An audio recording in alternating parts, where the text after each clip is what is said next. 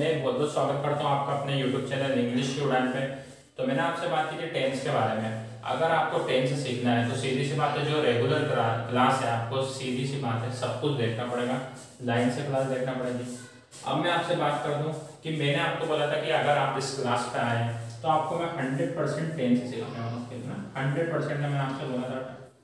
तो टेंस सिखाना। मेरे ख्याल से आपको एप्लीकेशन वाली वीडियो भी अच्छी लगी होगी।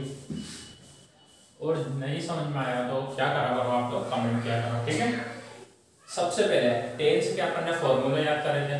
मेरे ख्याल से सबको याद होगा आपको घर पे भी टाइम देना। दूसरी बात हम मेरी बात समझना तो टेंस के एक एक फॉर्मूले को डेट में समझेंगे, है ना?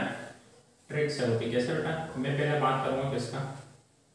किसकी बात करूँगा? प्रेजेंट प्रेजेंट टेंस किसकी बात करूँगा? प्रेजेंट टेंस इस वाली जो वीडियो है, इसमें प्रेजेंट टेंस कंप्लीट अगली वाले वीडियो में पास्ट टेंस कंप्लीट इसके बाद फ्यूचर फिर उसके बाद पूरा टेंस कंप्लीट है ना? तो प्रेजेंट टेंस की मैं बात करूँ, इसमें कितने टेंस होते हैं बेटा चार। कौन कौन होते हैं? प्रेजेंट प्रेजेंट सिंपल दूसरा कौन सा होता है? प्रेजेंट कंटिन्यूस यही होता तीसरा कौन सा होता है बेटा प्रेजेंट परफेक्ट ठीक है और फोर्थ कौन सा होता है जो मिक्स होता है इन दो का प्रेजेंट परफेक्ट कॉन्टिन्यूस ये होता है अब आप लोगों को मैं एक बात बता दूँ ये चारों होते हैं एक टेंस के चार फॉर्मूले होते हैं आपको दिख रहा हूँ तो पहला फॉर्मूला क्या है पास्ट पास्ट टेंस की मैं बात करूँ जिसका मतलब होता है वर्तमान ठीक है तो फ़र्स्ट क्या होता है? प्रेजेंट सिंपल सेकंड होता है प्रेजेंट कंटिन्यूस थर्ड होता है प्रेजेंट परफेक्ट और फोर्थ होता है प्रेजेंट परफेक्ट कंटिन्यूस अब मैं लाइन से एक एक एक एक की बात करूँगा ठीक है बेटा? समझे? पहले मैं बात करूँगा किसकी? प्रेजेंट सिंपल के बारे में, ठीक है? प्रेजेंट सिंपल के बारे में बात करूँगा सीधी सी बात करूँगा इसका जो फॉर्मूला होता है, क्या होता है? सब्जेक्ट प्लस वर्ब की फ़र्स्ट फॉर्म प्लस एस या ई एस लगा दो और प्लस क्या लगा बेटा ऑब्जेक्ट ठीक है? प्रेजेंट सिंपल का फॉर्मूला होता है सब्जेक्ट प्लस वर्ब की फ़र्स्ट फॉर्म एस या ई एस प्लस ऑब्जेक्ट बात आती है एस कहाँ पे लगता है और ई एस कहाँ पे लगता है? ठीक है बेटा? अब मेरी बात सुनो।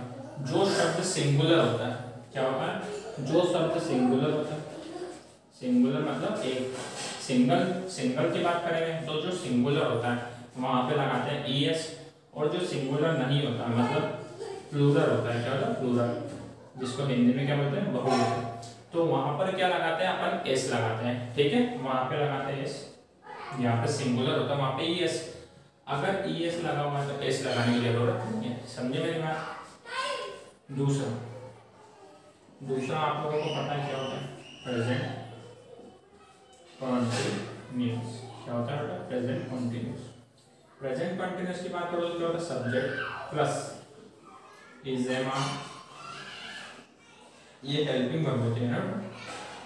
वर्ब की first form plus ING plus okay अब जो वर्ब होती है, वो क्या होती है? तो मैं आपको एक टॉपिक में वर्ब भी पढ़ाने वाला तो वर्ब समझे? प्रेजेंट कंटिन्यूस का फॉर्मूला होता है subject is am are verb की फ़र्स्ट फॉर्म आईएनजी और ऑब्जेक्ट ठीक है? समझे मेरी बात? ये दोनों फॉर्मूला आप कॉपी में नोट करें ठीक है? कुछ बच्चे बोल रहे हैं कि ये फॉर्मूले पहले हो चुके हैं, आपको लिखना है। जैसा जैसा मैं बोलते जाऊँ, वैसा वैसा लिखना है ना? क्या होता है कि लिखे तो हैं अपन ने, पर याद भी तो करना है ना? तो आपका रिवीजन होगा और दूसरी बात, आपको एक एक टेंस भी समझ में आ जाएगा। समझे मेरी बात?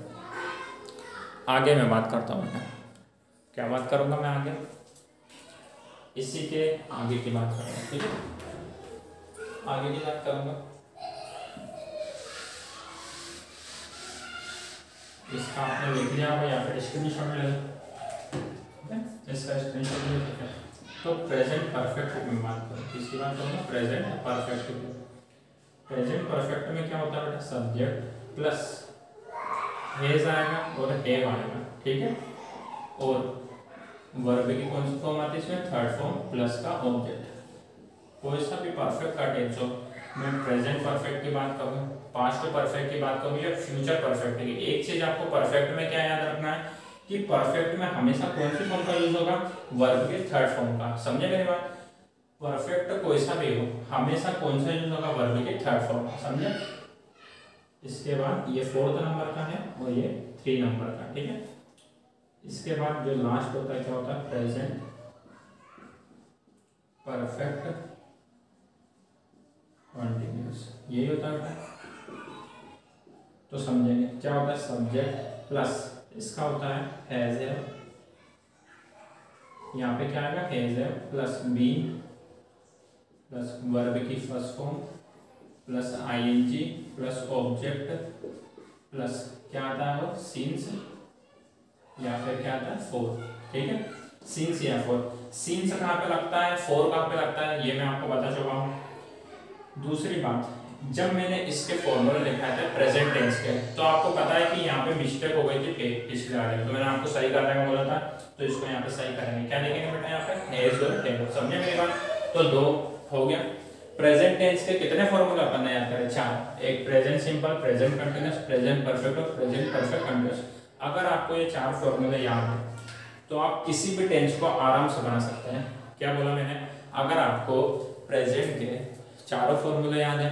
तो आप प्रेजेंट का कोई सा भी टेंस आ जाए आपको, आप बिल्कुल अच्छे से एक एक फॉर्मूले की सहायता से बना सकते हो। फॉर्मूले बहुत इंपॉर्टेंट है, क्योंकि आगे जाके सारी चीज़ें इसी से होने वाली है। किससे होगी? इसी से ही होगी, है ना? सभी चीज़ें इससे होने वाली है, ठीक है? तो मेरे ख्याल से आपको समझ में आ रहा है। और ये बात सिंसिया फोर की तो आपको पता है कहाँ पे लगता है। हेज़ और हेव का कहाँ पे यूज़ होता है, आपको पता है। चलो, अब मेरी बात सुनना। मैं पूछता हूँ प्रेजेंट सिंपल की बात। तो प्रेजेंट सिंपल का यूज़ कैसे होता है? प्रेजेंट सिंपल में सब्जेक्ट प्लस वर्ब की फ़र्स्ट फॉर्म एस या एस प्लस ऑब्जेक्ट कंटिन्यूस में इज़ एम आर आ जाता है और परफेक्ट में क्या होता है? प्रेजेंट परफेक्ट में हेज एम आ जाता है वर्ब की थर्ड फॉर्म और उसमें प्रेजेंट परफेक्ट कंटिन्यूस में तो है ही सही, है ना? लास्ट में सीन्स फोर और बीच में क्या लग जाता है? बीन लग जाता है, जिससे क्या होता है? पूरा formula subject plus has have plus been plus verb की first form plus ING plus object plus since या फोर ठीक है बेटा? तो ये तो बात हो गई किसकी? प्रेजेंट टेंस की। तो प्रेजेंट टेंस आपको समझ में आया क्या? समझ में आया? ठीक है? अब मैं प्रेजेंट टेंस की और बात करूँ।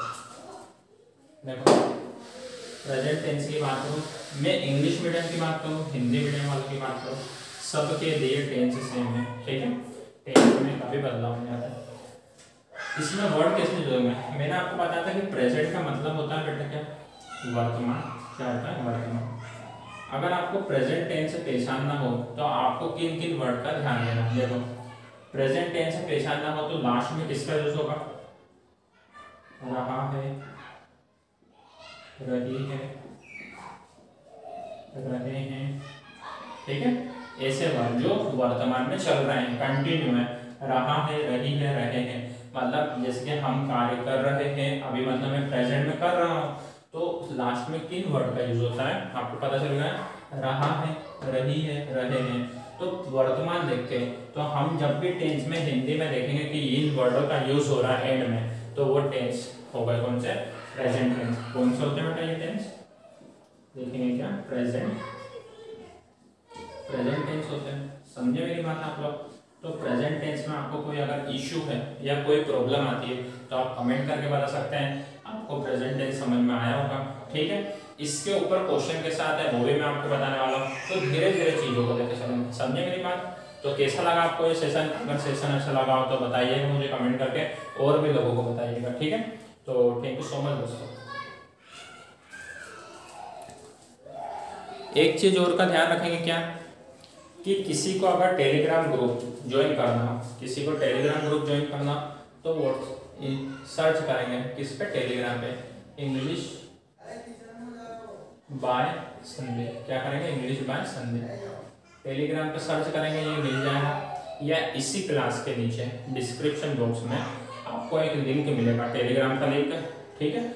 आप उस पर भी क्लिक करके ग्रुप में ज्वाइन हो सकते हैं। क्योंकि ग्रुप में ज्वाइन होगा तो वहाँ पर आपको सारी चीज़ें मिलेंगी। और वो भी फ्री ऑफ़ कॉस्ट है ना? कोई उसका चार्ज भी नहीं है।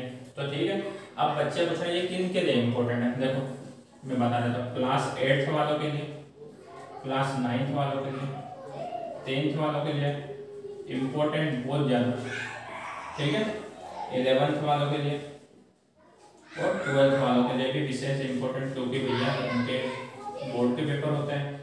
सबसे ज़्यादा इंपॉर्टेंट है। अगर आप आठवीं, नवीं वाले भी पढ़ेंगे इस क्लास को तो आपका बेसिक क्लियर हो जाएगा, जिससे आपको आगे चल के प्रॉब्लम नहीं आएगी।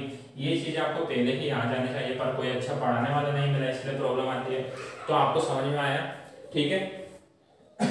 ठीक है? किन किन के लिए इंपॉर्टेंट है? और अगर कोई कॉम्पिटिटिव वाला भी बच्चा देख रहा हो अपनी क्लास को, कौन? कॉम्पिटिटिव वाला बच्चा भी कोई देख रहा है ना? कॉम्पिटिटिव एग्ज़ाम वाला। तो भी आप लोग भी इस क्लास को देख सकते हैं। समझ में आ गई मेरी बात? तो कैसा लगा आपको ये सेशन कमेंट करके बताना। और इसकी जो नेक्स्ट क्लास है, पाँच की होने वाली है। तो नेक्स्ट क्लास का वेट कीजिए, जो कि कल आने वाली है। तो आपकी जो क्लास है, अब रेगुलर आने वाली है। तो आपको सेशन कैसा लगा, बताइएगा। और थैंक यू सो मच दोस्तों।